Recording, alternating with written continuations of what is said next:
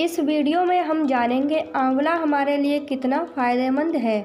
आंवले जूस का सेवन कब और कितनी मात्रा में करना चाहिए? आयुर्वेद में कुछ ऐसी चीज़ें बताई गई है जिनके नियमित सेवन से न सिर्फ़ विभिन्न रोगों से मुक्ति मिलती है, बल्कि इससे त्वचा भी युवा बनी रहती है। आंवले में विटामिन सी भरपूर मात्रा में पाया जाता है। यह आँखों, बालों और त्वचा के लिए तो फ़ायदेमंद है ही, साथ ही इसके और भी कई फ़ायदे हैं। अक्सर आंवले जूस के सेवन को लेकर कई लोग दुविधा में रहते हैं कि इसका सेवन कब और कितना करना चाहिए। आंवले के जूस को कब और कितनी मात्रा में पीना चाहिए?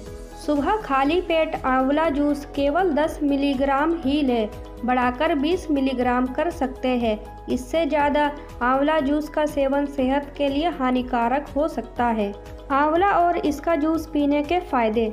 आँखों के लिए आंवला अमृत समान है। यह आँखों की रोशनी को बढ़ाने में सहायक होता है। इसके लिए रोज़ाना एक चम्मच आंवला के पाउडर को शहद के साथ लेने से लाभ मिलता है और मोतियाबिंद की समस्या भी खत्म हो जाती है। शरीर में गर्मी बढ़ जाने पर आंवला सबसे बेहतर उपाय है। आंवले के रस का सेवन या आंवले को किसी भी रूप में खाने पर यह ठंडक प्रदान करता है। आंवले के रस को मिश्री के साथ दिन में दो तीन बार सेवन करने से काफ़ी राहत मिलेगा। चेहरे के दाग धब्बे हटाकर उसे खूबसूरत बनाने के लिए भी आंवला आपके लिए उपयोगी होता है। इसका पेस्ट बनाकर चेहरे पर लगाने से त्वचा साफ़, चमकदार होती है और झुर्रियाँ भी कम हो जाती है। इन चीज़ों के साथ सेवन करने के फ़ायदे। आंवला कूटकर पेस्ट के रूप में तैयार कर ले। दो चम्मच आंवला का गुदा और दो चम्मच शहद मिलाकर सुबह शाम ले। जुखाम नहीं होगा। अगर है तो वह भी ठीक हो जाएगा। छः सात दिन तक खाली पेट एक चम्मच केवल आंवला जूस पिए। इससे पेट के कीड़े मरेंगे, पेट साफ़ होगा।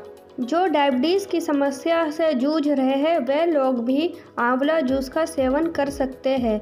आंवला ब्लड शुगर को नियंत्रित रखने में कारगर है। पेशाब में जलन हो तो खाली पेट आंवला और शहद मिलाकर पिए, राहत मिलेगी।